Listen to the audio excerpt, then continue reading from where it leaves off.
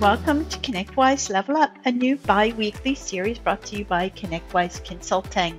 Each video highlights a key feature of one of our products to help you learn more and level up your use of the ConnectWise suite of products. Today's topic is using email connector tags and workflow rules. In ConnectWise Manage, the key concepts are email connector tags, which enable you to quickly create and or update existing tickets by issuing commands via an inbound email connector. Workflow rules running on any of the records have the send email action. And when sending an email as a workflow rule action, several variables are available. Using these together allows me to create or update tickets off a workflow rule with information from the original record and without the need for the more rigid ticket templates.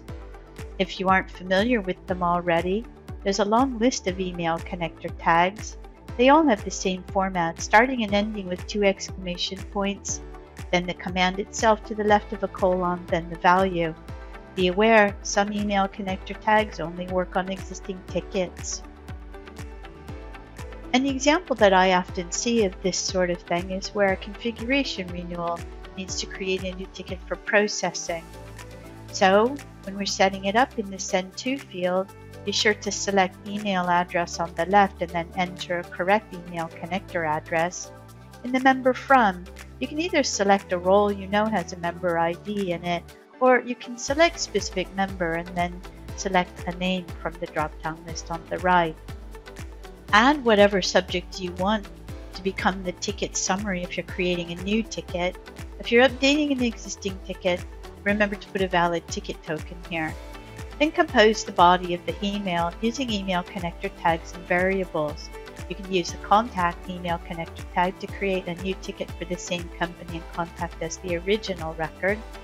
You can use the add internal email connector tag to include instructions and details from the original config in the internal notes of a new ticket.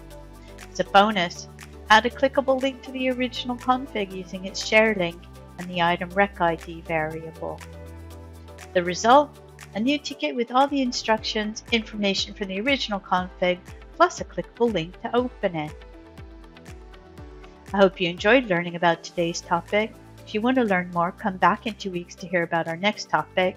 And of course, our ConnectWise consultants are always available to help you level up with ConnectWise. If there's a topic you'd like to hear about in an upcoming ConnectWise Level Up, please comment below with your suggestion. If you enjoyed the video, please like, subscribe, and follow us on Facebook.